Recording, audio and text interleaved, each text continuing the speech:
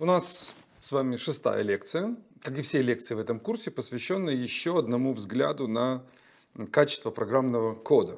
Мы уже пять лекций посвятили анализу исходного кода с точки зрения его синтаксиса. Мы разобрали метрики, касающиеся размера кода, касающиеся его э, сложности, э, касающиеся его э, запутанности, понятности. Все это время, все эти пять лекций мы говорили о коде как, как о тексте, который состоит из выражений, стейтментов, э, переменных, процедур и так далее.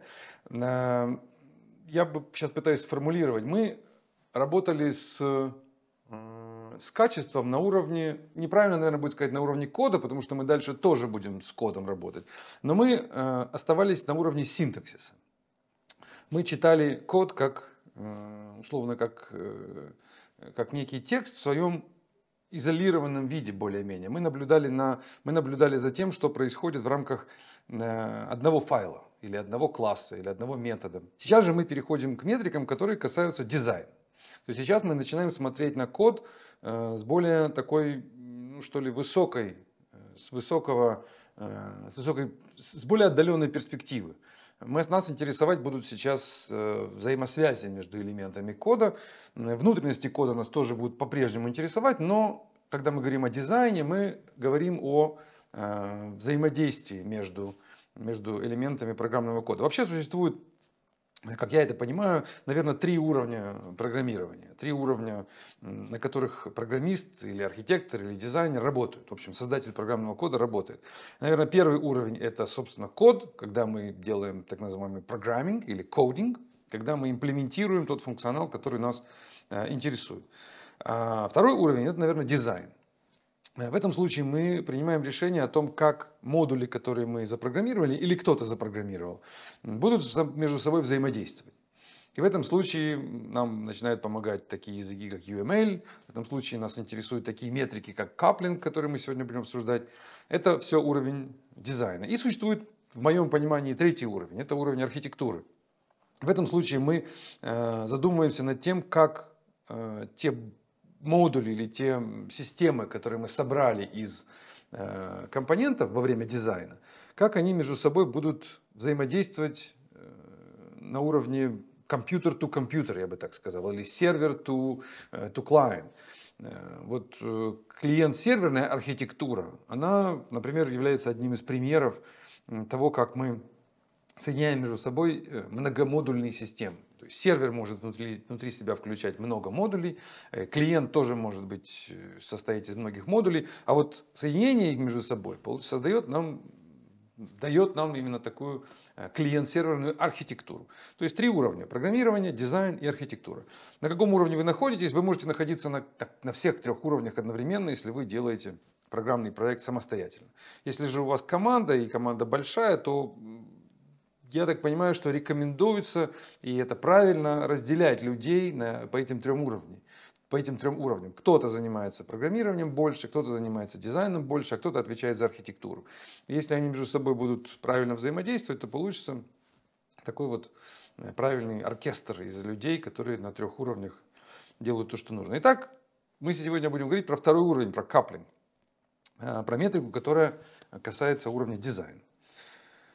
Значит, э, в 1974 году, видите, мы постоянно с вами говорим о вещах, которые были придуманы э, еще задолго до вашего рождения, и моего в том числе.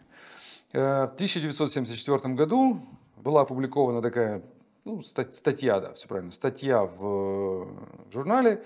Она достаточно короткая, достаточно простая, вы ее можете прочитать за 20 минут. Я вам очень рекомендую с ней ознакомиться. Написано простым языком. Она, в ней три автора. Вот один из них, э, вы видите его э, на картинке. Они предложили э, следующую идею. Во-первых, они сказали, что, я даю цитаты из, из статьи, я не знаю, кто именно сказал, но подчеркиваю имя того автора, которого вы видите на фотографии.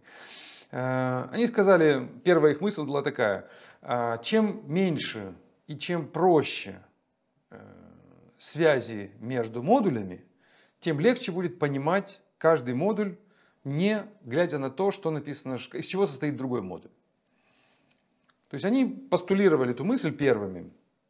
Э, видимо, до этого, до, до, до них, видимо, это тоже наверняка это понимали, но не сформулировали. Вот они сформулировали эту мысль, что чем меньше у нас связей, и чем эти связи проще, тем нам легче будет работать с каждым модулем. То есть, если вы пишете класс, если вы создаете этот класс или модуль, или микросервис, или функцию, ну, например, класс, и этот класс зависит от многих других классов для своей работы. Например, он обращается к другим классам, создает инстансы других классов, э, отправляет к ним какие-то данные, получает от них какие-то данные. То чем больше таких связей будет, тем хуже. Тем сложнее будет понимать, как устроен ваш класс и с ним работать. А значит, тем хуже, ваш программный, ваш хуже, чем, тем хуже ваш программный продукт, если его сложнее понимать, сложнее поддерживать. Вот Такая вот несложная мысль была высказана. И они предложили термин каплинг. Они предложили, в тот момент еще не был, это еще была не метрика, это была некая идея. Это было сказано, что вот, этот вот, вот это количество связей между модулями мы можем измерить как-то. Они не говорили точно как, ну, например, просто в количестве. Наверное, они говорили, но в тот момент это не было еще метрикой. Они говорили, ну давайте просто посчитаем эти связи. Давайте посмотрим, сколько, от скольки модулей зависит наш модуль. От одного, от двух или от 15. И чем цифра больше, тем хуже. И назвали это, это количество этих связей или степень связи между модулями, э, степень связи модулей между собой, назвали их э, э, каплингом. То есть чем каплинг выше, тем хуже. Чем более ваш модуль, ваш класс coupled с другими классами, тем хуже. Ну вот такой я нашел в интернете такую несложную картинку, которая объясняет эту идею визуально. Слева у нас так называемый tight coupling, то есть такой тесный, интенсивный, общем, агрессивный что ли каплинг, и loose coupling, такой слабый, развязанный, потерянный что ли. Каплинг, который э, позволяет модулям быть друг от друга вдалеке. Вот когда мы эти модули соединяем вот таким образом, когда они между собой переплетены, когда связи очень тесные, когда связей много, мы получаем э, вот такие вот э, такие три свойства мы получаем. Ну, например, это в, этой, это в этой статье так написано. Больше взаимозависимости, больше координации нужно между ними и больше information flow. То есть информация между ними обменивается э, с значительно более высокой интенсивностью. Обмен информацией происходит более интенсивно. В этой же картинке, которая справа, вы видите, что связей меньше, потому что в левой картинке мы даже не знаем толком сколько их. Они могут быть находиться внутри, они могут быть, самые разные пересечения могут существовать, и мы даже можем их, не всегда может быть понятно, сколько их. Если же у нас связи строго определены, связь модуль А условно обращается к модулю Б только исключительно по вот этому интерфейсу. Один другому передает, мы видим этот интерфейс, он э, explicitly defined, и он, и он один, то в этом случае мы имеем loose coupling, то есть у нас меньше взаимозависимости, меньше нужна координация между ними, и information flow он меньше. Информация передается между ними меньше. То есть модули становятся такими более самостоятельными. Они, каждый модуль внутри себя делает все, что ему нужно, не будучи зависим от других модулей, э, или будучи зависим, но через небольшое количество связей. Вторую мысль, которую они ну, это не вторая мысль, но развитие этой мысли, которую они предложили. Э, они сказали, этот второй автор этой статьи, Гленфорд Мейерс, я точно не знаю, как его фамилию правильно произнести, но, наверное, Мейерс. Э, известен очень этот автор своей книгой э, The Art of Testing, I think, that's the right name, искусство тестирования, которую я вам рекомендую, очень рекомендую прочитать. В общем, поищите его книги, его центральная книга, это о Э, тестирование, о том, как мы должны организовывать тестирование в программных продуктах. Вам обязательно с ней нужно познакомиться. Так вот, эти ребята написали, что каплинг это э, степень э, силы ассоциаций, установленных теми коннекшенами, которые мы имеем между модулями. То есть каплинг, насколько сильно они связаны. И дальше они говорят, что strong coupling, такой, они называют, вводят термин strong. Это сейчас мы используем tight coupling больше, чем strong. Ну, в то время они говорили strong.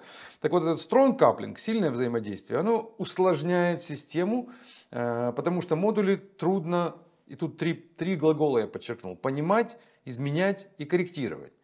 И, в общем-то, это и есть то, о чем мы говорим. Если модуль трудно понимать и трудно изменять и трудно корректировать, то мы имеем неподдерживаемую, операцию, неподдерживаемую систему, которая в итоге будет доставлять только проблемы, а не, э, а не функционировать как нужно. Эм, и дальше они говорят, что сложность может быть reduced by designing systems with the weakest possible coupling between. То есть нужно делать системы так, чтобы мы дел... чтобы у нас было наиболее слабые связи между модулями. Чем более слабые связи, тем лучше. Это может звучать контринтуитивно для некоторых из вас. Нам казалось бы, что модули, наверное, должны хорошо знать друг о друге. Они должны, наверное, хорошо понимать, кто чем занят. Они, наверное, должны тесно взаимодействовать для того, чтобы получилась ну, хорошая система, которая Э, вовремя передает в нужное место нужную информацию. И каждый модуль может взять, что ему нужно из соседнего модуля. Они не прячут информацию друг от друга, они э, делятся сказать, добровольно, и они позволяют другим модулям получать доступ к, себе, к, своим, к своим данным так, как им нужно и в такой форме, как им удобно. Но это может быть такая, такая интуиция, но она вас не должна Э, вы не должны ее слушать. Ну, представьте себе, например, у вас есть один модуль, я вам такой пример приведу, чтобы было более иллюстративно. Представьте, что у вас один модуль – это база данных, а второй модуль – это система, которая э, ну, строит отчеты, например, из этой базы данных и пользователю показывает какие-то статистические таблицы из, этой, из, этой, из, этих, из этого хранилища. И у вас есть э, условно язык SQL, например, это у вас база данных на на MySQL создана. И вот у вас есть язык SQL, через который вы можете обратиться к этой базе данных и получить, в общем-то, любые данные, собрав из существующих таблиц нужные джойны, соединив их вместе, получив какие-то, применив какие-то функции, достав эти данные и дальше сделав репортинг. В этом случае модуль репортинга, который строит, строит отчеты, он имеет полный доступ к базе данных в, э, к любым таблицам, если он обращается к ней через язык SQL. Э, и при этом возникает такой tight coupling, strong coupling. Есть у нас модуль отчетности и модуль базы данных, они очень сильно между собой связаны. Э, модуль отчетности знает очень много о, о том, что происходит в базе данных. Хоть у нас и connection единственный, один единственный, но вот эта вот сила, сила ассоциации или сила этой связи, она очень высока. То есть хотя у нас и действительно мы идем по одному каналу связи, но то, насколько интенсивно мы, мы забираем информацию из базы данных, настолько мы ее широко, что ли, используем, насколько много мы знаем о том, что в этой базе данных находится, какие там таблицы, какие между ними связи, какие foreign keys, какие, э, какие вообще функции существуют в этом MySQL, что это вообще MySQL. То есть все эти знания, знания, они делают нашу связь Э, очень э, ну, strong, очень tight, мы, мы, мы слишком тесно связаны с этой базой данных. Это приводит в перспективе к сложностям. Если завтра э, мы захотим поменять то, что находится в базе данных, то нам придется менять и модуль репортинга. Нам нужно будет делать изменения в двух модулях одновременно. И это усложняет поддержку системы, потому что, ну, по многим причинам. Допустим, модуль отчетности писал один программист, а модуль из базы данных писал, модуль в базе данных, то есть саму базу данных писал другой программист. И мы, э, нам будет нужно найти одновременно два программиста для того, чтобы они эту систему поменяли. Это хорошо, если два модуля. Представьте, у нас появляется третий модуль, который не отчеты строит, а, например, вносит данные в эту базу данных. И он тоже знает о том, как устроена база данных. Он тоже знает о том, какие там таблицы, какие там, и что это вообще MySQL. И вот они втроем, так, так, такой дизайн мы имеем, в котором все друг, ну не все базы данных не знают об этих двух модулях, но эти два модуля знают все, что можно знать о базе данных. Изменять эту базу данных будет практически невозможно без изменения э, этих двух модулей. Это плохо.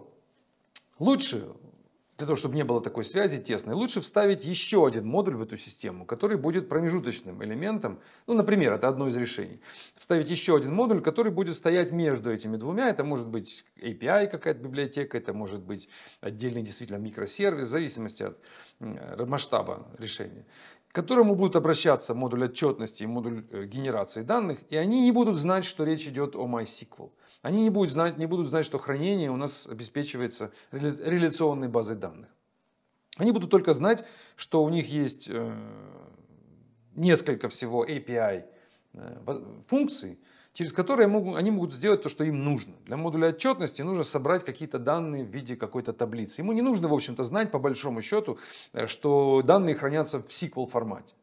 Ему не нужно знать, что это реляционная база данных. Ему даже не нужно знать толком, какие там таблицы. Ему нужно выполнить несколько функций. Ему нужно для себя. Ему нужно выбрать данные агрегированные в таком-то формате. Вот давайте, давайте дадим ему такие 2, 3, 4 API entry point, в который он будет обращаться и говорить, собери мне данные в таком-то формате. И уже этот промежуточный модуль, который мы вставим, он уже будет знать о том, как обратиться в базу данных. У нас останется связь между этим дополнительным модулем, который мы вставили, и базой данных. Безусловно, между ними связь сохранится, и он будет знать о том, что база данных у нас реляционная. Но эти два э, модуля, которые знали про базу данных, мы их развяжем, мы их сделаем, мы decouple их, мы, мы сделаем такой decoupling между базой данных и этими двумя модулями. Получится, что у нас strong connection останется один – так у нас было два strong connection, у нас два модуля знали очень много про базу данных. У нас остался один модуль, который знает очень много о базе данных. А эти два знают уже значительно меньше. Мы сделали такой декаплинг, и это хорошо. Такое дизайн решения, оно приводит к более поддерживаемой системе. Есть, конечно, у этого и недостатки, вы сами понимаете. Мы замедлили все выполнение, мы сделали его несколько более... Э, ну, перформанс, безусловно, упадет в этом случае, потому что запросов будет два. И обрабатывать его нужно будет дважды. Одно дело напрямую модуль отчетности обращается к базе данных и формирует запрос. Другое дело, мы делаем это через такой модуль, вот этот элемент декаплинга, который разделяет их между собой.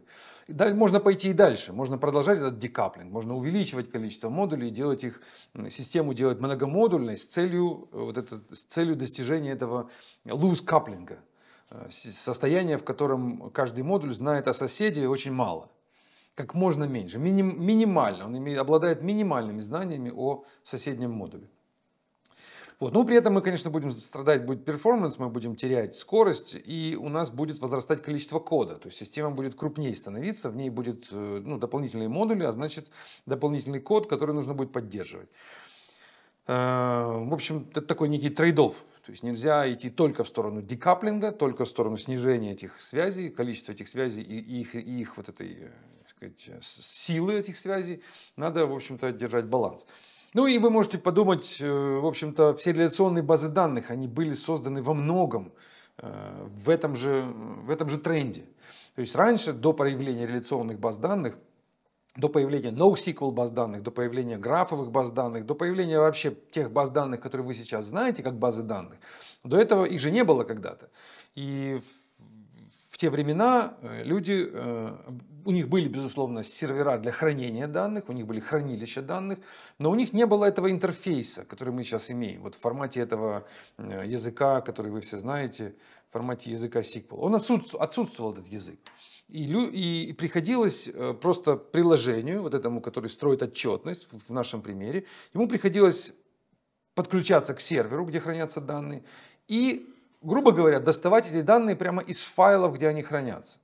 То есть находить нужный файл, где лежит нужные данные, находить эту таблицу, доставать из нее путем чтения байт, по байт, байт за байтом, читать эти данные из файла и соединять их, возможно, в какие-то более сложные структуры уже самостоятельно и дальше делать с этими данными то, что нужно. Но э, вот этого удобного инструмента в виде, в виде SQL языка, через который мы просто формируем запросы, говорим, нам не важно, в каких файлах хранятся данные, нам не важно, какая у вас структура внутри файловой системы. Просто выбери мне все имена пользователей из таблицы, те, кому менее там, 25 лет. И все. Как он это сделает? какие он файлы зайдет? Где он эти файлы хранит? Мы decoupled от этой информации. Мы отстранились, дистанцировались от этой информации. Нам она не интересна, и мы не хотим ее знать. Вроде бы, казалось бы, мы хотим, да, мы, мы хотим знать побольше. Мы хотим быть, как, вам, как я вам сказал, э, первая интуиция вам может давать первое интуитивное такое ощущение, вам может казаться, что хорошо, когда мой модуль знает все о соседнем модуле. Так вот, люди пришли к выводу очень давно, что нет – Хорошо, когда он мало знает. Хорошо, когда клиент не знает, как MySQL хранит данные внутри. Хорошо, когда клиенту дают ограниченный набор знаний о том, что в модуле внутри происходит. Ему говорят, вот язык запросов, вот этим языком пользуйся. А больше никаких способов обращения к моим внутренностям я тебе не даю. Потому что так хорошо для тебя, потому что так хорошо для всей системы. Когда мы друг о друге знаем поменьше. Вот такая вот идея этого декаплинга. То есть вот здесь, если поставить буковку DE, перед словом каплинг. Получается декаплинг. И мы к этому декаплингу стремимся. Мы смотрим на систему. И на самом деле, когда приходите вы э, в проект, в котором уже много чего создано, и в этом проекте вы имеете проблему, проблемы с maintenance, с maintainability, проблемы с поддержкой кода, проблемы с его улучшением, вы видите, что сложно, что команда недовольна, много дефектов, много проблем, то первое, что нужно делать, это заниматься декаплингом. То есть пытаться разнести в разные стороны модули, которые между собой связаны. И сделать эти связи между ними тонкими. Сделать так, чтобы мы видели, что только одна связь существует, и через этот канал передается только ограниченное количество информации, минимально необходимое.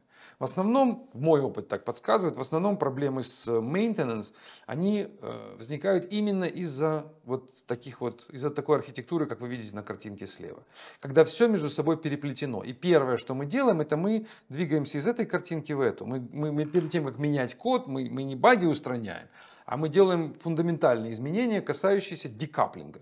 Мы находим какой-то вырываем из, из архитектуры какой-то модуль, выносим его в сторону и обрываем связи между, между этим модулем и другими модулями. Стараемся их оборвать. Делаем так, чтобы они перестали к нему обращаться, а если обращаются, то через только один канал связи, через один интерфейс. И, этот, и этот интерфейс стараемся сузить. Стараемся, стараемся его сделать все менее и менее широким и, и, и доступным. То есть мы закрываемся, мы закрываем модули. То есть если здесь модули, видите, они достаточно открытые на этой картинке. Они, каждый из них ну, пускает соседа к себе в огород, совершенно не, не, не, не, как бы не, при этом ничего не блокируя, никаких, никаких попыток, никаких доступов к данным или к функциям не блокирует. Здесь же у нас они такие достаточно, недостаточно, они такие максимально индивидуалисты такие становятся, они максимально э, отстраненные друг от друга. И это хорошо. Это то, к чему стали стремиться еще, как вы видите, с незапамятных времен. И стало понятно, что если мы будем идти в эту сторону, то хорошо. Я вот еще нашел такую картинку в интернете, тоже может быть полезно. Значит, э, вы видите, э, вот на левой картинке они абсолютно uncoupled, такой вот термин здесь написано, uncoupled. Здесь мы loosely coupled, а здесь highly coupled. Видите, они используют highly. Мы уже видели strong, tight, highly coupled. Ну, в общем, любые слова можно здесь применять, но суть в этом, суть в том, что связей много, здесь, здесь связей очень много, здесь связей достаточное количество, здесь связей совсем не существует. Такую систему, безусловно, вы не сможете не сможете с ней работать, если в ней вообще отсутствуют связи. То есть это плохой пример. Это тоже плохой пример. Если связей очень много, как я объяснил, вы в итоге будете иметь систему, в которой э, ее трудно поддерживать. Это, наверное, такой более-менее э, идеальный вариант, в котором этих связей немного. Значит, и последняя цитата из этой статьи, такой основополагающий, фундаментальный, она э, говорит нам о том, что здесь, здесь сказано, что степень каплинга, видите, они тут пытаются ну, такой, что что-то вроде метрики предложить. Мы сейчас посмотрим, какие метрики были позже предложены. Они пока говорят степень каплинга, э, которую, значит, это функция некая, is a function, sorry, это является степень каплинга, является функцией нескольких факторов. И ее э, сложно establish simple index. Они говорят о том, что просто одну метрику такую ввести, ее будет непросто. Это было сказано еще еще тогда, когда они это предложили. И сказали, от чего она зависит. Ну, вот, наверное, эти факторы перечисляют. Э, насколько complicated the connection, как мы увидели, допустим, соединение SQL, э, язык запросов SQL, он SQL, как хотите, он сложный, и в нем эта степень complication, она очень высокая. Второе, э, этот connection, он касается модуля самого по себе, либо refers to the module itself or something inside it. То есть здесь эти коннекшены, они могут быть установлены как к модулю, сказать, с внешней стороны, либо эта связь может идти прямо внутрь модуля. То есть там, например, в модуле совсем нет инкапсуляции, и модуль открывает все свои, э, все свои внутренности. Ну, как, например, я вам привел э, пример с файлами, на которых хранятся данные. В этом случае файл открывает все свои внутренности, и мы попадаем в этот сервер и дальше начинаем работать с файлами напрямую. То есть в этом случае, наверное, стоит говорить о коннекшене не с сервером, а коннекшене с его внутренностями. И это совсем, конечно, другое дело, это значительно более опасная связь, чем, чем связь просто если бы мы к серверу соединялись, к какому-то его интерфейсу и говорили, дай-ка нам вот, вот, такую, вот такой сбор данных, которые у тебя там хранятся. Ну и, конечно, последнее зависит от того, что посылается и что отправляется. Одно дело там простые данные, пару байт, а другое дело огромные массивы данных по этим коннекшенам пересылаются. И это, в общем, этих, от этих трех факторов, наверное, зависит каплинг. Так они считали в то время, не предлагая какой-то конкретной метрики. Это вот третий автор из этой статьи.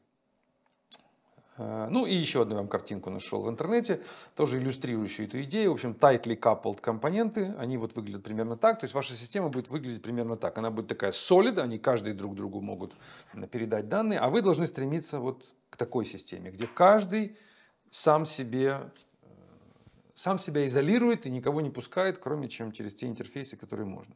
Ну и теперь переходим, собственно, к метрикам, которые были предложены значительно позже, через как вы видите, 20 лет после э, того, как была предложена идея. Я не, не понимаю, если меня спросить, я не понимаю, почему так долго, э, так много времени заняло, занял этот переход от э, идеи к конкретным метрикам. Я не нашел более ранних метрик, чем 94 год. Может быть, они были может быть, какие-то были немного раньше, но что-то в 80-х годах никаких метрик я не нашел. Может быть, я ошибаюсь, они были, но вот то, что я увидел, это то, что я увидел. Видимо, людей, наверное, 20 лет подряд мало заботила эта проблема. Может быть, не было таких не знаю, может быть, не было тогда еще такого интенсивного развития идеи модульности, не было каких-то архитектур, может быть, сложных, которые мы сейчас мы имеем сейчас. Вот, не знаю почему, но первую метрику, которую я нашел, она называется Coupling Between Objects, CBO. Вот так ее авторы назвали. И она просто очень считается. Для класса это количество других классов, которые с этим классом как-то связаны. Все очень просто. Вы берете Java класс, в нем он, безусловно, будет как-то связан с другими классами. Ему нужен, ну, например, Java класс. Я сказал класс или я не сказал Java, ну, например, Java класс мы берем, и этот Java класс, он для своей работы, ему нужны другие Java классы. Ну, даже в простейшем случае ему нужен класс, например, string, который представляет э, строковые литералы. Вот одна связь у нас уже существует. Вот мы можем сказать, что CBO для этого, э, для этого класса, она будет равно, эта метрика, должна, эта метрика будет равна единице. Ну, все просто. Вот статья, можете почитать какая-то очень тривиальная метрика. Но вы знаете, вот дальше мы будем смотреть другие метрики. Далеко люди не прошли э, от этой CBO, они толком никуда и не ушли. То есть э, не, не получилось, видимо, у нас, у нас как у индустрии, учесть все три фактора, которые здесь перечислены. То есть мы просто остановились на... Э, мы даже, мы даже эти три, ни один из них мы не учли. Мы просто считаем количество связей. То есть если мы берем систему вот такую, то мы говорим, какая у нас будет CBO или какая у нас будет coupling у этого класса. Ну, наверное, это будет 1, 2, 3, 4. Цифра 4. Вот так вот примитивно. Сложность этих связей, мы не обращаем на них внимания. Сложность данных, которые через эти связи передаются, мы игнорируем. Complexity, э, структуры этих данных, которые между ними э, путешествуют, мы тоже игнорируем. Наверное, это не очень хорошо, но это то, что мы имеем. Такие вот примитивные метрики. Вот метрика номер один, я вам ее привел пример. Метрика номер два, вот я ее нашел в статье, в которой еще через 10 лет случилась эта статья. Предложили метрику Direct Class Coupling. DCC. Это метрика, и смотрите, о чем она, я цитирую. Метрика – это количество разных классов, которые этот класс directly related to. То есть в чем инновация предложения этой метрики, чем она отличается от метрики CBO, мне не ясно. Я думаю, это одно и то же, просто переименовали и выставили как, э, как свою собственную. Метрика включает классы, которые напрямую связаны э, directly related by attribute declaration and message passing. То есть мы, грубо говоря, они здесь говорят то, что в CBO метрике, может быть, четко не сказали, но подразумевали. То есть если у нас какой-то класс условно какой-то класс foo, и в нем есть, допустим, атрибут э, string какой-то x, и у него есть какая-то функция string, допустим, bar, которая сюда принимает, например, класс integer какой-нибудь z, то у этого класса, наверное, будет, мы будем учитывать, что первое, он зависит от класса string, второе, он тоже зависит от класса string, и он зависит от класса integer. То есть у него, наверное, этот, этот самый DCC э, будет равен, наверное, цифре 2. Вот какая-то такая примитивная калькуляция, которая, тем не менее, что-то показывает. То есть, наверное, мы можем э, сказать программистам, что они должны делать такой дизайн, так свои классы организовывать, так их проектировать, чтобы в них DCC или CBO стремилось ну, какой-то какой небольшой цифре. Какой это, наверное, надо решать каждый раз субъективно. Э, я не нашел э, каких-то более-менее авторитетных источников, где бы говорилось, какая цифра правильная. Но, наверное, интуиция подсказывает, что если эта цифра будет больше 20, то, наверное, у нас будут проблемы с поддержкой этого класса. Если эта цифра будет до 20, или, может быть, даже лучше до 10, Э, то, наверное, все будет окей. Тут есть еще, по-моему, я сегодня не буду об этом говорить, в слайдах этого не будет, но где-то я встречал э, такой подход э, у тех, кто считает метрики. Они пытаются исключить классы, которые из стандартного SDK. То есть, например, класс string, они бы из, своей, из своего вычисления, из вычисления этой метрики, они бы исключали, потому что string это некий такой стандартный базовый класс, и связь с ним можно не Э, не считать как, э, как, как важную связь. Можно не учитывать в, в расчете каплинга. То есть это никакой не каплинг, это некая такая базовая, некая база, без которой, как, как вода и воздух, без которой жить невозможно. Ну, возможно, они правы. Значит, э, дальше некоторые мнения насчет этого каплинга я вам выскажу. Вот всем нам известный и очень любимый автор Мартин Фаулер – который вы наверняка знаете и читали. Э, у него короткая статья в 2001 году, видите, это все было довольно давно. Короткая статья в журнале IEEE Software, в котором он э, посоветовал редюсить каплинг. Он посчитал, ну, он считает, что снижение э, каплинга это хорошо. То, о чем мы, то, о чем говорили до него за 30 лет, он подтвердил. Но он добавил свою мысль, сказал, что, как он считает, ту мысль, которую я вынес из его статьи, потому что в остальном это, в общем-то, он говорит то, что мы знали до этого. Э, наибольшая проблема, наибольшие проблемы приходят из неконтролируемого каплинга upper levels. То есть он здесь говорит про архитектуру, я так понимаю. Вот те самые Э, как я вам сказал, существует три уровня в моем понимании программирования. Это код, это дизайн это архитектура. Вот он, наверное, говорит upper levels, то есть, наверное, дизайн плюс архитектура, верхний уровень. И он говорит, I don't worry about the number of modules coupled together, but I look, I look at the pattern of dependency between the modules. То есть ему не важно, что внутри модуля происходит, насколько там coupled, ну, условно, класс, я думаю, что речь идет об этом. Но о том, как модули между собой coupled или не coupled. Здесь ему значительно важнее. И я думаю, с ним мы согласимся, потому что э, действительно проблемы, чем выше уровень в этом вот трехуровнем, в этой трехуровневой пирамиды, чем выше уровень проблемы, которую мы имеем, тем эта проблема дороже. То есть проблемы низкого уровня решать проще. Если у вас проблема в каком-то конкретном классе, и он связан с каким-то другим классом, и, это, и он связан слишком интенсивно, допустим, они друг у друга, друг к другу обращаются и друг другу устанавливают приватные атрибуты чего мы знаем в, той же Java и вообще в объектно-ориентированном программировании делать не рекомендуется. Рекомендуется обращаться друг к другу через методы, а не напрямую э, менять данные внутри классов. Ну, допустим, у вас есть два класса, они друг с другом вот такой вот осуществляют такой э, недисциплинированный обмен данными. Вместо того, чтобы передавать их через методы, они просто пишут друг другу прямо в поля.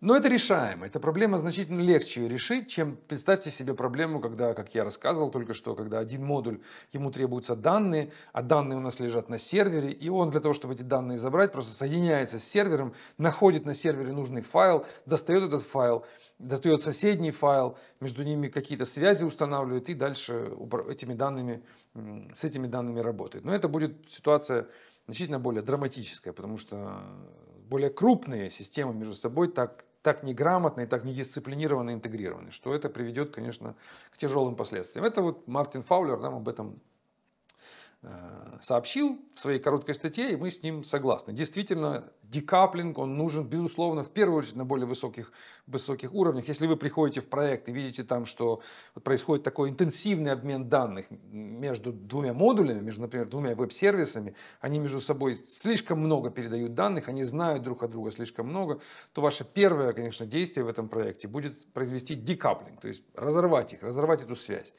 сделать так, чтобы они знали друг от друга только минимум, абсолютный минимум, который им необходим. Ну, для этого, может быть, можно будет ввести какой-то дополнительный модуль между ними поставить, который бы эту, этот декаплинг помогал сделать. Ну и дальше переходим к интересной метрике, э, которая ну, тоже ее стоит знать. Она, не, она не, не более сложная, чем те две метрики, которые мы уже видели. Она чуть более чуть более интересно. Ее предложил э, Стив МакКоннелл, Стивен МакКоннелл, тоже очень любимый нами всеми автор, который вы обязательно должны знать и прочитать эту книгу «Код комплит», э, которую, я думаю, что это такая должна быть библия э, любого программиста, который хоть как-то интересуется качественным программированием. Она хоть и старая, безусловно, ей уже 20 лет, но то, что там, то, о чем идет там речь, не поменялось за эти 20 лет практически совершенно. Мы остались в тех же парадигмах программирования, мы остались в тех же проблемах, мы остались в том же объектно-ориентированном программировании, о котором там в основном идет речь.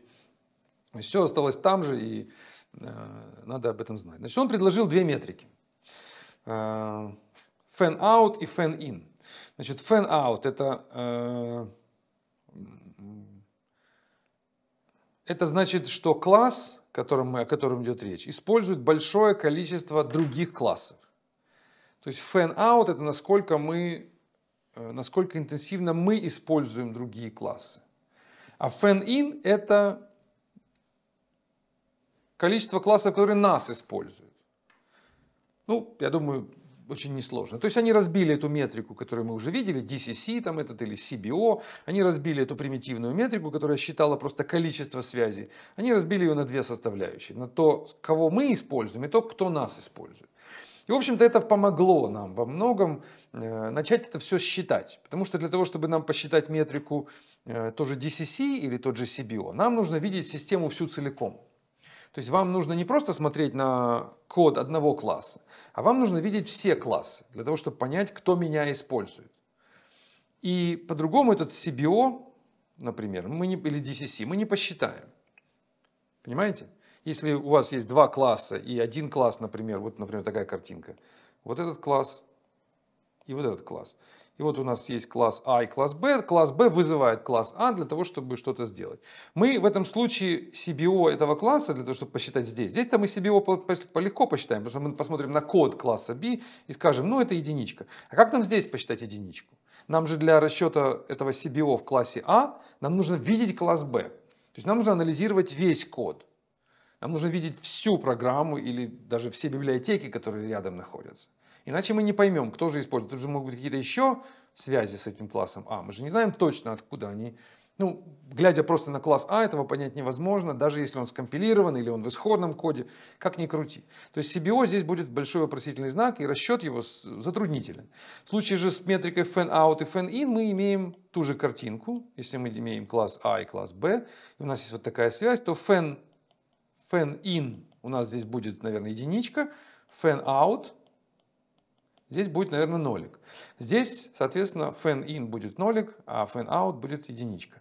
Но рассчитывать, но опираться мы можем э, в этом расчете на просто э, то, что перед нами, на только исходный код класса А, тогда мы метрику fan in посчитать не можем, мы ее вычеркиваем, и ее многие инструменты и не считают. Если вы возьмете какие-то инструменты для контроля качества кода, то вы увидите, что они умеют работать только с метрикой fan-out. Потому что расчет fan-in значительно более тяжелый. Для этого нужно смотреть все классы и, в общем, анализ будет э, во много раз сложнее.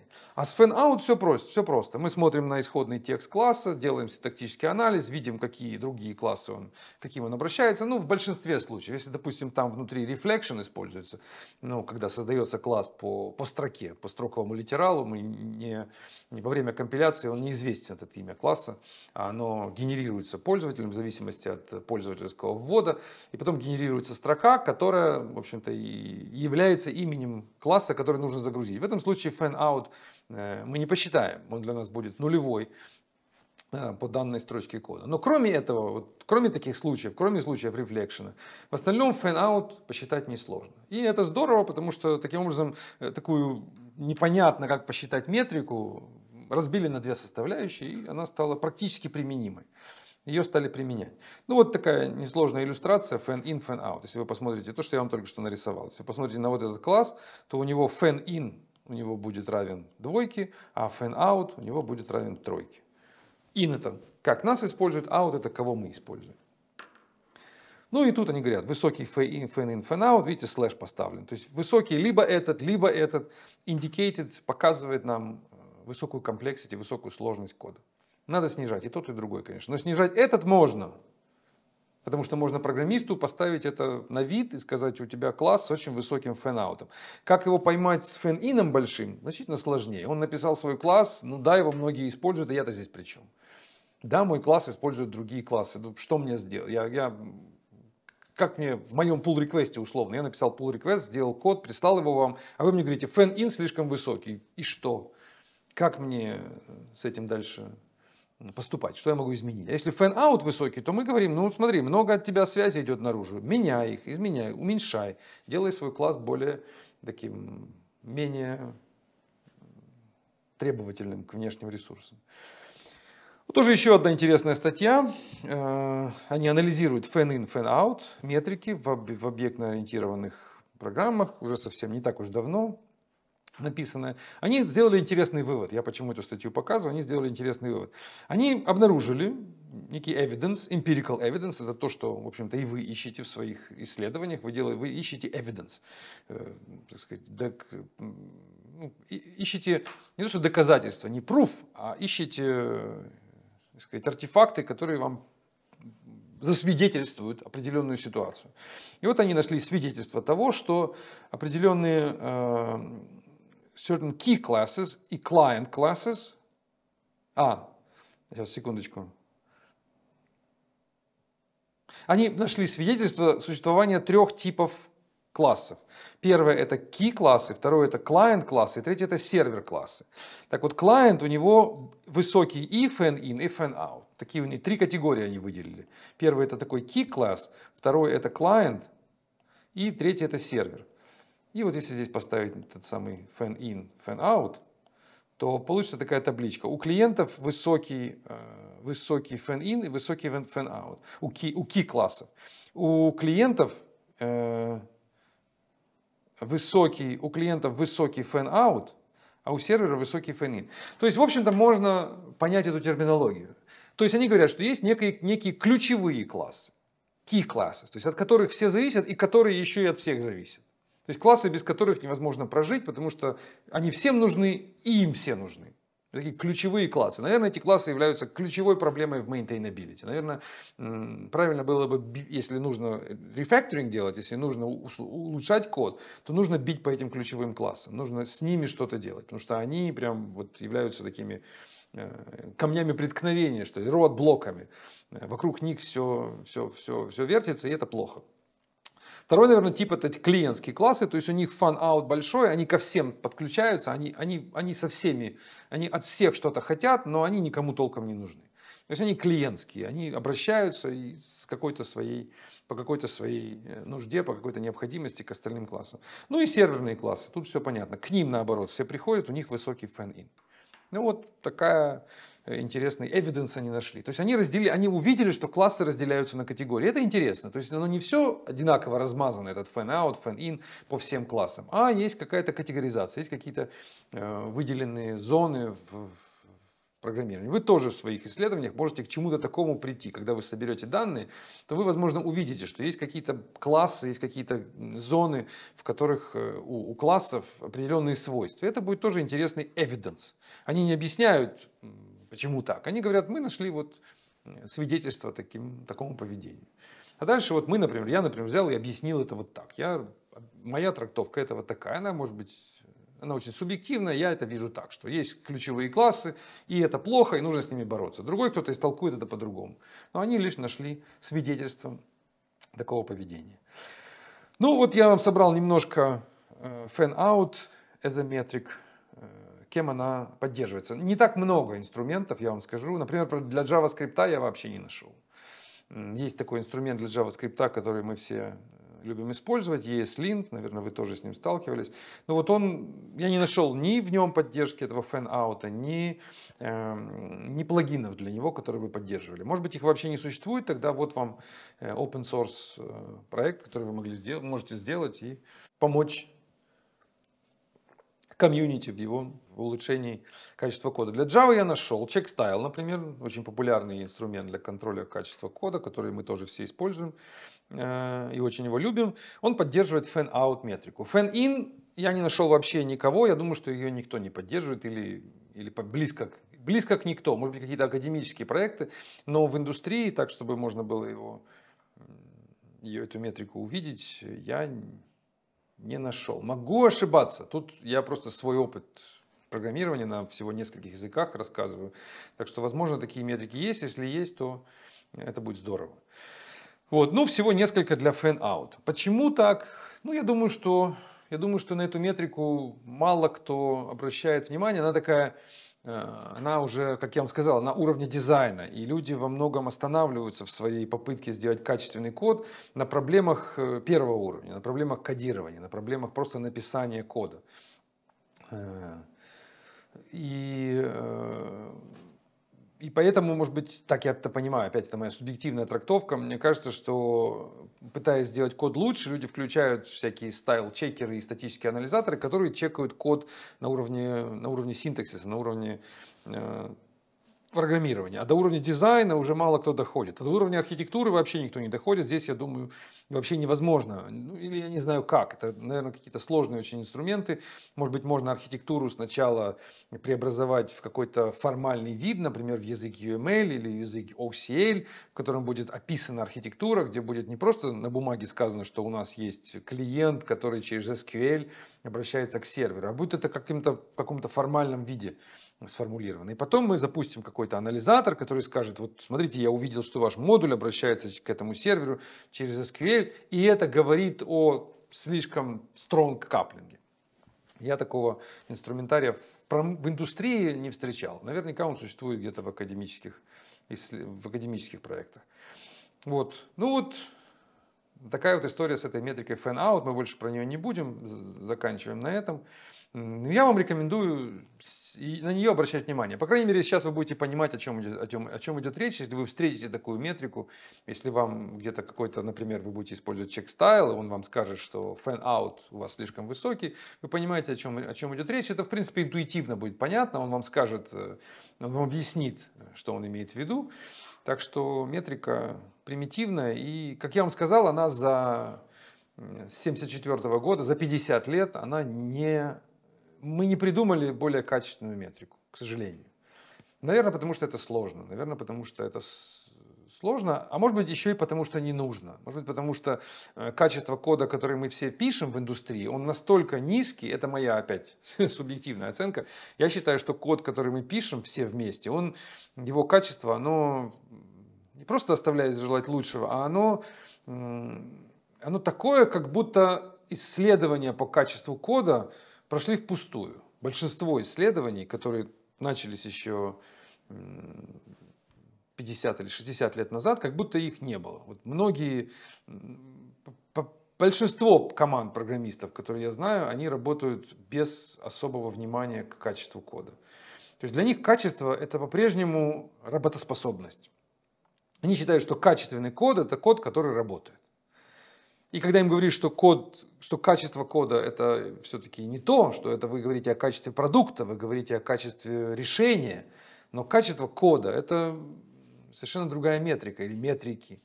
то в основном это вызывает улыбку и такое ну, ощущение, что я из какого-то академического мира к ним прихожу и пытаюсь какую-то такую теорию, оторванную, оторванную от жизни, приложить к их праведному труду, когда они создают рабочие системы, которые приносят пользу людям, они работают. Какая разница, как написан код? Ну да, мы там где-то какой-то каплинг выше, кого это интересует.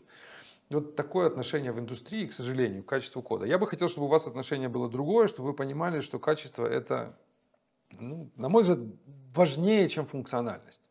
То есть код, который не работает, но написан качественно, на мой взгляд, лучше кода, который работает, но написан некачественно. Почему, я уже вам объяснял, потому что э, программные продукты э, живут значительно дольше, чем то время, которое с ними находится программист рядом при интенсивной разработке. То есть программный продукт разрабатывают месяц условно, а живет он год. Его разрабатывают год, а живет он 10 лет. И поддерживать его, и, и если он будет лег, написан понятно, и в нем будет мало низкий каплинг, или как loose каплинг, слабый каплинг, если в нем будут все остальные метрики э, такие, такие, э, каких хотели бы видеть исследователи в области качества программного кода, то поддерживать его будет легче, а значит мы исправим функциональность, мы исправим те дефекты, которые в нем есть, он будет работать в итоге. А вот если продукт работает, но написан плохо, то он умрет очень скоро, потому что вносить в него изменения будет крайне, крайне сложно. И, скорее всего, кто-то сделает из него клон, кто-то сделает из него форк, кто-то кто его э, изменит его траекторию жизни, если захотят вообще с ним оставаться. Ну, скорее всего, его выбросят и сделают новый код, новый продукт. Я вот был э, буквально пару дней назад на конференции одной софтверной, и там э, сказали, что один докладчик сказал, что он не привел ссылку, откуда эти данные, но я думаю, что можно поверить этим цифрам, что мы, э, что программист читает программный код 90% времени, а пишет его 10% времени. Возможно, мы можем провести исследование, чтобы эти цифры были не 10-90, потому что они выглядят как э, немножко такие сказочные. Такой, это, это такой больше на миф похоже, чем на, чем на практическое исследование. Но можно, я думаю, провести это исследование и поставить какой-нибудь плагин, например, в, IDE, в среду разработки программист там, взять волонтеров несколько человек, поставить им некий плагин, который измеряет время, которое они тратят на скроллинг текста, на перемещение по тексту, на, на, на движение по коду. И, собственно, время, которое они тратят на, нажим, на, на введение нового, на, на внесение изменений в код. И я думаю, что если измерить эти две цифры, кто-то, кто-нибудь из вас может заняться таким исследованием, если захотите как-нибудь. Я думаю, что цифры будут близки к тем, которые нам назвал докладчик на конференции. Это будет действительно больше, значительно большее время, время потрачено на чтение, то есть на движение по коду, и э, значительно меньший объем времени люди тратят на написание. А значит, нам важно писать код, который легко читать. Я так это понимаю. Такой вывод, один из выводов, который мы можем сделать из этой статистики. Вот так, я думаю. Ну, идем дальше. Значит, э, чуть более свежая информация. Вот мне очень понравилась статья, которую я совершенно недавно наткнулся. Смотрите, обратите, обратите внимание на год этого. Это даже не статья, это блокпост, в котором э, автор предлагает э, две метрики. Ну, тут ничего нового он не говорит, мы уже встречали эти метрики, только он называет их почему-то afferent coupling и efferent coupling. Ну, это метрика, которая показывает количество number of projects boundaries that depended upon it. То есть, наверное, это fan-in. Он, может быть, просто не знал про нее, или он посчитал нужным почему-то другое имя ему дать. Это другая метрика, которая, как, это сказать, э, сопровождающая эту метрику offered coupling. Э, total number of projects that a given project depends on. То есть, это, наверное, fan-out. Он называет project, здесь он говорит boundaries, то есть у него тут терминологии. Ну, в общем, он почему-то называет это project, модуль. Раньше мы говорили о модулях, теперь он говорит о проектах. Это нам мало интересно, мы эти метрики уже видели. Но он вводит новую метрику, насколько я понял, он ее вводит, instability. Я, по крайней мере, ее не слышал до этого. Instability, он считает ее как соотношение между э, fan-out и out плюс in. Это соотношение оно будет между нулем и единицей, где 0 означает totally stable, а единичка totally unstable. То есть, если здесь цифра это будет у нас нулем, то это значит, что у нас out 0.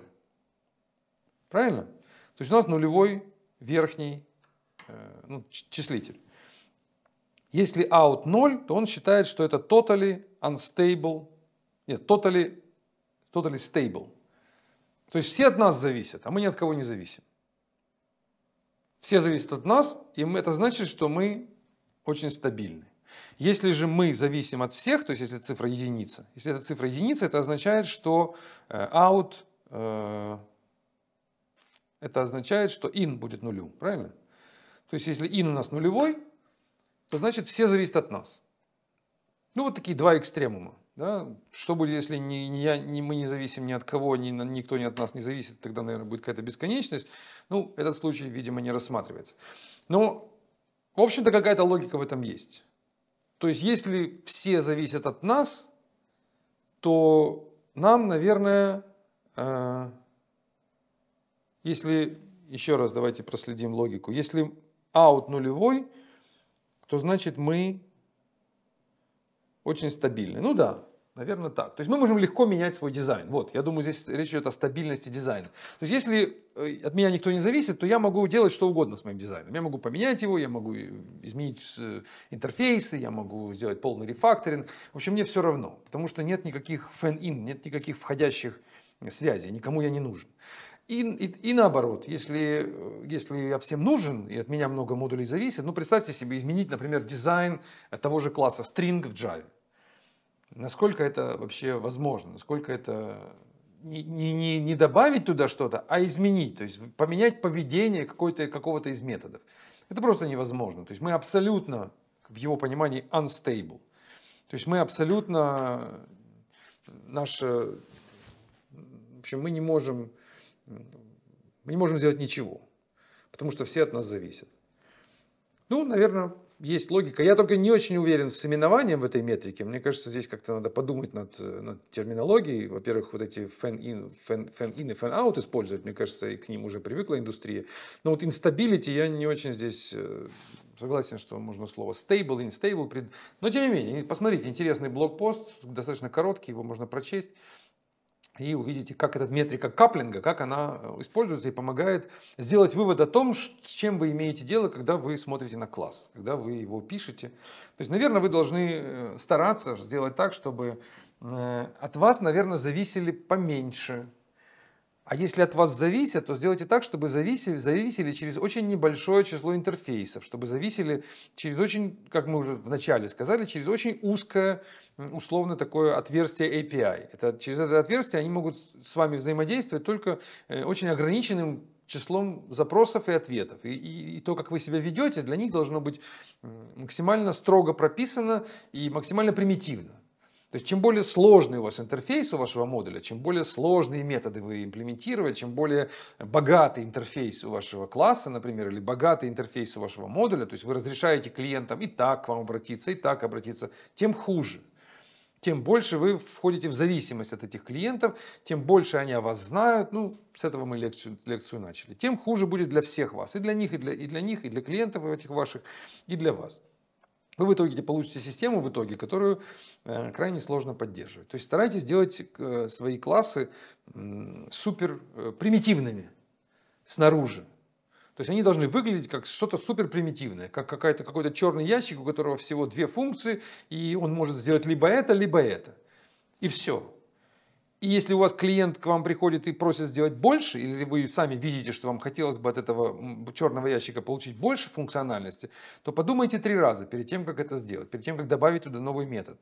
Подумайте, а нужно ли это? Может быть, оставить клиенту, сказать, оставить его в, в состоянии невозможности спросить что-то дополнительное у нас. А может быть, надо ввести новый модуль, который даст ему эту возможность. То есть мы не хотим этот модуль раздувать, мы не хотим у этого модуля, ну, так называемую поверхность интерфейса расширять. Вот то, то, то э, если все сложить интерфейсные методы, если все сложить точки входа, которые есть в ваш модуль, то это называется surface, такой интерфейс surface, то есть это поверхность, через которую с вами могут взаимодействовать. Так вот эта поверхность, она должна быть э, небольшой, чем меньше, тем лучше. И когда вам вам вас просят или вы сами видите, что ее хочется расширить, то понимаете, что вы таким образом ваш модуль подвергаете дополнительному риску попасть в дополнительные зависимости и дизайн ухудшится. То есть введите новый модуль, создайте новый интерфейс с тоже небольшой поверхностью э, соприкосновения, поверхностью соприкосновения с внешними модулями. Вот эта поверхность, surface этот, он должен быть э, чем меньше, э, тем лучше, стремиться к минимуму. Еще один я вам слайд приготовил. У нас такая лекция получается, я вам просто накидываю разные мысли из области каплинга. Не получилось структурировать это очень хорошо, потому что тематика такая, э, ну, на мой взгляд, очень сырая по-прежнему. Люди просто что-то такое в этой теме имеют сказать, но какому-то единому, строгому пониманию этой, этой, этих, этих измерений, измерения каплинга мы не пришли, как я понимаю, индустрия. У нас есть какие-то ощущения, какие-то... Вот смотрите, еще один слайд, показывающий разные каплинги. То есть люди придумали разные, например, есть контент каплинг, global каплинг, external каплинг, control каплинг, stamp каплинг. Придумали много-много разных терминов, которые э, описывают, как я понимаю, семантику этих связей. То есть о чем эта связь? Вот у нас есть один модуль, есть второй модуль, между ними какая-то связь. Эти связи, люди поняли, что эти связи могут быть разные. Это может быть связь, я передаю тебе параметры какие-то, или я, допустим, обращаюсь к твоим данным напрямую, или, допустим, я обращаюсь к глобальным данным, это вот global coupling. Я обращаюсь к глобальным данным, и ты обращаешься к глобальным данным. И вот мы вдвоем работаем через эти глобальные данные. То есть я не обращаюсь к тебе, я не передаю тебе ничего. И я не читаю ничего от тебя. Но мы, например, два модуля, два условно даже не микросервиса, а два модуля. Один написан на Java, например, другой на, на C++. И вот мы два процесса, работаем на одном сервере. И мы вдвоем э, сохраняем данные в один и тот же файл. Я из него читаю, а, а, а другой модуль в него пишет. Вот мы, у нас есть global coupling. Да, между нами напрямую связи нет как это было нарисовано на диаграммах, где показывалось, что каплинг это обязательно вот связь между... Здесь у нас связь такая происходит через, а, через, глобальные, через глобальные данные. Это связь, связь. Если я поменяю структуру этих данных, я один модуль, то второй модуль, естественно, должен эти изменения увидеть и, и к ним адаптироваться. Stamp coupling – это когда модули шерят composite data structure. Ну, это очень похоже. Stamp coupling, global – используют только, а вот здесь, наверное, не совсем так, они используют сложную структуру данных, и э, каждый модуль использует только часть из нее. Допустим, у нас есть какой-то общий файл или даже база данных. Примеру, у нас есть центральная база данных. Я к этой базе данных подключаюсь и читаю из одной таблицы, а, а ваш модуль подключается и читает из другой таблицы. Вот мы получаемся такой, называют они stamp coupling. Я из одной структуры, ну, они пишут здесь composite data structure. Ну, чем нам база данных не composite data structure? Сложная структура данных. Один читает из одного блока и пишет, другой из другого блока. Связаны ли мы? Связаны. Может быть, это не такая, strong, не такая сильная связь, не такая strong, не такой strong connection, э, как между, э, как между, если бы я, например, данные передавал напрямую. Но она существует, этот connection тоже существует и так далее. Это всего лишь одна статья, которую я нашел, где некая такая классификация этих, этих типов каплингов. Я думаю, что их можно придумать еще, еще столько же, а может быть и больше. То есть как между собой могут две программ, два программных компонента, два модуля быть связаны. И все это плохо. Все эти связи, они, они неизбежное зло. Вот так. Это неизбежный такой side effect программирования. Это плохо, но мы без него не можем. То есть, безусловно, нам нужно, чтобы модули были связаны, нам нужно передавать данные, это неизбежно. Но объем этого зла неизбежного надо стараться сократить. То есть сделать так, чтобы модули, еще раз подчеркиваю эту мысль, друг о друге знали как можно меньше. Друг с другом как можно менее интенсивно взаимодействовали. Тогда ваш продукт будет лучше во всех отношениях.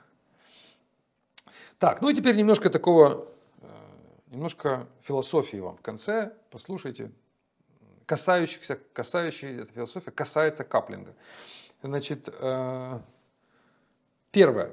Есть такая проблема, я ее характеризую как страх декаплинга. Посмотрите на код, который слева. Это Java. Вот у нас есть метод send. В этот метод send мы передаем э, некий интерфейс money. То есть и дальше внутри мы из этого money достаем количество центов – и отправляем это, то, что мы достали, переменную C, отправляем куда-то через API. Несложный метод, money пришли внутрь, из них достали центы, и они ушли дальше. Представьте, что мы имплементируем, имплементируем теперь этот интерфейс money, то есть, собственно, делаем класс, который называется one dollar. This one dollar class, он возвращает нам, его функция send, она возвращает цифру 100. Все просто, мы передаем туда в эту функцию, функцию send, передаем этот instance, передаем instance класса one dollar, send достается и запускается. Все вроде бы хорошо. Но, поскольку это интерфейс, мы сделали decoupling. То есть мы здесь, внутри этого функции send, мы ожидаем не one dollar, а ожидаем money. То есть мы ввели этот интерфейс специально, этот интерфейс, э, я имею в виду Java интерфейс, придумали этот интерфейс, который называется money, он здесь не показан в коде, но он, он существует, примитивный такой интерфейс с одним методом. Мы его придумали для того, чтобы сделать декаплинг, для того, чтобы развязать, рассоединить между собой функцию send и one dollar. То есть вот эти два товарища, они между собой не связаны. То есть они друг о друге не знают вообще ничего. Функция send не знает ничего про one dollar. Она не знает, что этот класс вообще существует. Если бы я здесь вместо, вместо money, вот здесь, написал бы one dollar, то они бы знали друг о друге. Они были бы coupled, они были бы связаны. То есть функция send знала бы, что существует класс one dollar и знала бы, чего от него ожидать, знала бы, какое поведение ожидать от функции send. Понятно? Мы разви, развели их, мы вставили внутрь интерфейс. Теперь функция send не знает, какое поведение ожидать от функции, э, функция send не знает, какое поведение ожидать от вот этого метода. Она не знает, что здесь может случиться. И даже программист, который пишет эту функцию вот здесь, он нажимает сюда мышкой, вот сюда, на функцию send, и, не, и попадает туда, где нет функционала. То есть он попадает в интерфейс, он попадает в заглушку условно говоря. Попадает в место, где э, нет, э, ему, ничего, ему ничто не объяснит, а как это работает. И это, в моем понимании, хорошо. Но есть люди, которые считают, что это плохо. И я имел большое количество споров с этими людьми на эту тему. Они говорят, что представьте себе, что есть у нас класс какой-нибудь employee hourly rate, более сложный класс, который не такой примитивный, как one dollar, а более сложный, который в ответ на вызов функции sense делает большое количество операций. Он идет куда-то в базу данных, он что-то считает, он что-то достает, то есть целый, целый функционал внутри. И вот этот вот товарищ, Send, он не знает, что ему могут подсунуть такую имплементацию. Что ему могут дать такой функционал, который приведет к куче проблем. И программисты говорят, что это нехорошо, когда так может быть. Что когда мы не знаем точно, чего нам ожидать. Это у них, в моем понимании, это вот э, диагноз этот называется страх декаплинга. То есть им хочется, чтобы все было у них в руках, чтобы они все видели, чтобы, они, э, чтобы их ожидания э, всегда можно было проверить, чтобы они знали, чего ожидать. Я считаю, что это неправильно. Я считаю, что нужно программировать, э, предполагая худшее, предполагая полиморфизм, предполагая, что то, что нам, к нам приезжает, оно имеет много форм, оно может принимать много форм, оно может быть и таким, может быть и таким, и таким. Мы должны абстрагироваться от этого, мы должны считать, что к нам пришел некий черный ящик. И как он посчитает эти центы, как он посчитает э, значение этих, этих денег, это не важно. То есть мы делаем таким образом программный продукт более fragile, то есть он более хрупкий. Понятно, что если я здесь, например, программирую эту функцию, буду все-таки какие-то ожидания иметь, допустим, что здесь не произойдет ошибки, что здесь не будет никакого обращения к базе данных. Но когда мне подсунут что-то с базы, базой данных, здесь произойдет exception, произойдет fail, фатальная ошибка, потому что база данных выключена, допустим. А я не готов к этому. Я когда дизайнил этот софт, я не думал, что ну как, такой примитивный вызов метода, дайте мне просто количество центов. Ко мне пришли деньги, сколько там центов внутри.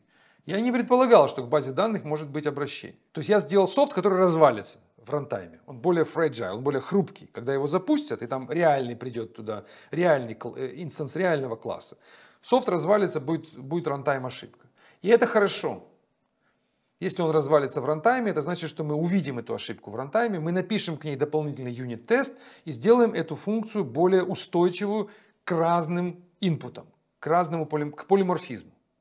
То есть система, которая устойчива к полиморфизму, это хорошая система. Система, которая ожидает мономорфизм, когда все принимают только одну форму, все зависимости, эта система менее устойчивы. Потому что в итоге, в результате все равно какой-то полиморфизм появится, и эта система получит э, рантайм проблемы. Это, если вам интересно больше по этой тематике, вам нужно почитать э, такую концепцию. Есть такая большая-большая идея, парадигма в программировании, называемая fail fast. Fail fast э, говорит, говорит именно об этом. Она говорит о том, что делайте ваши системы такими, которые э, падают, я пытался подобрать правильное слово, которые fail, которые сказать, приводят к ошибкам или падают, не знаю, как правильно на русском, которые фейлятся раньше. Чем раньше, тем лучше. То есть, которые э, сигнализируют об ошибках, которые приводят к ошибкам, выполнение которых приводит к ошибкам быстрее, а не, а не позже. И в этом случае в эту сторону нужно, и, и, и вот этот декаплинг, он вам будет помогать. Если вы будете разносить модули, если вы будете через интерфейсы всегда работать, то ваша система будет более хрупкая, более fragile, и вы тогда будете писать больше юнит-тестов, чтобы покрыть эти все проблемы, и у вас в итоге будет система становиться более устойчивой. Такой вот, может быть, контр, контринтуитивный э, получился у меня аргументация контринтуитивная, но почитайте про Fail Fast, у меня в том числе на блоге есть статья на эту тему, вам может быть полезно. Вторая мысль, э, temporal coupling. Я упомянул там в классификации ее, я вам сейчас покажу, что это значит. Посмотрите на код слева и на код справа. Значит, мы делаем одно и то же. Мы создаем список, кто Java, на Java программирует, тот э, поймет, но здесь несложно. Смотрите слева, что происходит. Значит, мы сначала создаем список, linked list, это тут, кстати, ошибка, нужно здесь еще такие скобочки поставить, это у меня опечатка. Значит, мы создаем linked list и в него дальше добавляем Э, вызываем две функции, одну, одну и ту же функцию, некую append, которую мы там где-то написали, э, некая статическая функция, мы передаем лист как параметр и аргумент как параметр. И она, мы предполагаем, что она добавляет этот элемент в список. И дальше вызываем еще одну функцию, ее же, и добавляем как бы второй элемент в список. В этом примитивном примере мы предполагаем, что ну, здесь многое нам подсказывает семантику этого, этих событий, которые происходят, нам подсказывает, что, скорее всего, последовательно, элемент за элементом будут добавлены в список. Но информация о том, что они будут последовательно добавлены, она лишь у нас на интуитивном уровне.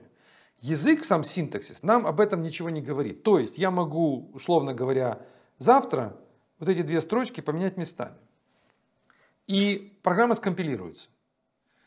Компиляция программы Э, не будет нарушена. И я, меняя эти строки местами, я не могу не понять, что я что-то нарушаю. То есть мне не будет, если особенно представьте, что между этими строчками вот здесь вот стоят какие-то еще строки, их много. Допустим, эти две функции добавления в список, первая и вторая, они разнесены по коду далеко. То есть они стоят не так плотно, как здесь в примере, а между ними какие-то еще строчки вставлены. И вот я, глядя на это все, я в какой-то момент решаю, что мне нужно один блок кода сделать до, а второй блок кода после. И я переставляю их местами я получу вновь компилируемый код. Но семантически он будет уже другой. Он, он будет сломан. В нем будет не та функциональность, которую задумывал ее автор. Автор этого кода. Это называется temporal coupling. То есть мы связаны по времени. Мы связаны по времени выполнения. Мы обязательно должны первым выполнить эту функцию и второй выполнить эту функцию. Но информации об этом нигде нет. О том, что, что идет первым, что идет вторым. Единственное, что это порядок строк в программе. То есть просто по порядку они идут, и поэтому этот temporal coupling у нас в коде присутствует в неявном таком виде. То есть, если бы у нас был какой-то нумерация строк, допустим, здесь было бы сказано, там, это первая, это вторая, это было бы все-таки получше, потому что я бы не смог передвинуть строчку с цифрой 2, не мог бы ее подвинуть наверх. Компилятор бы мне сказал, смотри, у тебя строчка с цифрой 2 идет выше, чем строчка с цифрой 1. Что-то не так. И тогда бы я понял, а, значит, значит здесь так задумано, что это двойка, это единичка. Они не просто так здесь написаны, эти цифры, они имеют некий, некую семантику. Значит, вторая должна идти после первой. Здесь же такого нет. И такое встречается очень часто в коде. Если вы программируете на языках таких полуобъектно-ориентированных, полупроцедурных, то это очень часто болезнь программистов, когда они последовательно выполняют команду за командой, думая, что таким образом они вот этим временным связыванием, они дают достаточно информации для читателя, что я имел в виду, что это идет последовательно, эти команды. Это не так. Это, это вам кажется, как писателю, что как писателю кода что это так. Но читателю это будет не очевидно. Это temporal coupling, это, в общем-то, некое зло такое в программировании, связи между, то мы говорили, помните, о каплинге между классами, каплинге между модулями. Вот есть каплинг между строчками. Каплинг между двумя командами. И он, этот temporal, он такой, эм, как бы связывание по времени выполнения, так это называется. И вот альтернативная имплементация, если бы мы вызвали вот так, если бы мы сказали, если бы мы передавали элемент linked is, если бы мы, если бы мы передавали лист внутрь в эту функцию, и функция нам бы возвращала тоже тот же лист, допустим, это даже не обязательно делать immutable такой интерфейс, обычный мутабельный механизм, но этот, эта функция with, она возвращает тот лист, который ей передали. Вот такую структуру уже поменять здесь местами добавление в список будет крайне сложно, потому что программист увидит, что здесь задумано именно так. И по ошибке он не переставит местами. Потому что в левом примере он может просто по ошибке это сделать. Он не знал об этом связывании. А это самая главная проблема в связывании, что оно скрытое во многих, во многих случаях. Оно не, не всегда видно, не всегда очевидно. И поэтому мы имеем проблему. Вот этот пример времен, временного связывания. Ну и последнее, за пару минут расскажу, есть у меня такая идея, эм, какое-то количество, несколько лет назад я так себе подумал, что возможно предложить такую метрику.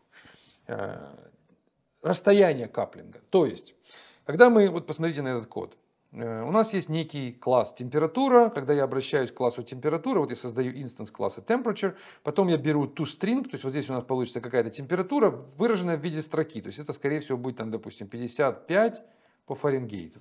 И дальше что я делаю? Я дальше разбиваю эту строку на две части по пробелу, получаю, видимо, две строки 55 и f. И дальше делаю parse int первой части 55 и получаю цифру 55. То есть такой, в общем-то, ну, абьюз тех данных, которые вернулись. Я не должен так делать, это очень странное поведение. Я сначала спросил, то есть я для того, чтобы достать t, у меня t, видите, private, я для того, чтобы t отсюда достать, я сделал такую вот манипуляцию. То есть сделал ее ну, не очень легально. Так, не задумывал так автор э, класса Temperature, что с ним будут так, такие манипуляции проводить. Он, он думал, что никто не будет Т из него доставать, все будут из него спрашивать строковое представление, строковое представление температуры с Фаренгейтами в конце. И он, этот, он так, и, так и сделал, это и вернул. Но мы делаем дальше преобразование этих данных, которые к нам пришли, мы их дальше ими манипулируем. Так вот у меня есть ощущение, что... Э, когда из нас данные, когда из класса данные получены клиентом, если они использованы прямо здесь и про них забыли, то это расстояние условно единиц между сервером, который предоставляет данные, и клиентом, который данные получает.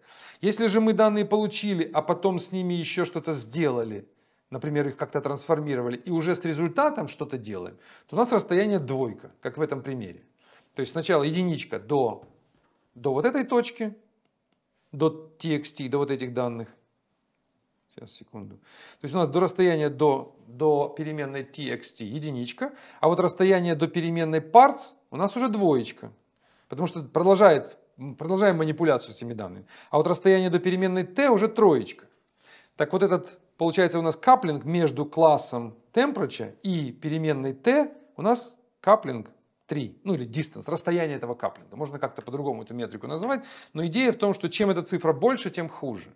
То есть в идеале должно быть везде единичка. Данные получил, использовал и забыл о них но не продолжаешь их трансформацию. Потому что если продолжаешь их трансформацию, то получается, что эта связь между провайдером этих данных и той точкой, куда она прилетает, она становится очень длинная. И длина этой связи, она влияет на поддерживаемость кода. Ну, здесь очевидно, как она влияет. Если, допустим, класс temperature завтра здесь вместо буквы F поставит какую-то букву, например, ну, даже не в букву, не, даже если он букву F изменит, ничего страшного, но, допустим, он здесь вот поставит вместо пробела, он уберет пробел и сделает вот так процент D и сразу F, то тогда весь этот код, который мы имеем здесь, он перестанет работать. Точнее, первые две строчки работать будут, но дальнейшие все трансформации, они перестанут работать. Но знать об этом этот класс temperature не будет. То есть автор класса temperature, он, он, он поменяв эту строку, у него большая часть кода скомпилируется, вообще весь код скомпилируется. Но выполнение его будет нарушено. И все потому, что люди допустили такой длинный каплинг. То есть допустили такую удлиненную удлиненную, такую, большая дистанция до, до конечного применения этих данных, которые вышли из, э, из класса. Вот у меня такой личный мой взгляд на каплинг. Мне кажется, что такая метрика могла бы, я ее описал в блог-посте какое-то время назад. В общем, если вам интересно, можете посмотреть. Было бы здорово такую метрику заимплементировать. Это пока просто теория. Вот я думаю, что если бы можно было бы сделать анализ э, кода на Java через, через синтаксическое дерево, например, Java, например, в Java, и посчитать этот, эти distance этого каплинга, мы бы, мы бы могли получить очень интересные результаты. Мы бы увидели, как далеко люди уходят с теми данными, которые им предоставил класс. Вообще в объектно-ориентированном программировании идея же инкапсуляции данных в том, чтобы не отдавать данные другим классам, пытаться их удержать внутри себя. А если уже отдается, если уж данные мы отдаем, то данные должны быть там использованы, но, но, но, но дальше никакого процессинга не предполагается. Если вам нужна была температура реальная, если вам нужна была буква Т здесь, в этом классе, то нужно было просто бы спросить у меня этот t, то есть сделать эту модификацию класса temperature и какой-то туда добавить метод getT, например, или get, ну, не знаю, getValue, что-нибудь. Но не вот такими вот трансформациями, которые явно создают дополнительный каплинг совершенно ненужный.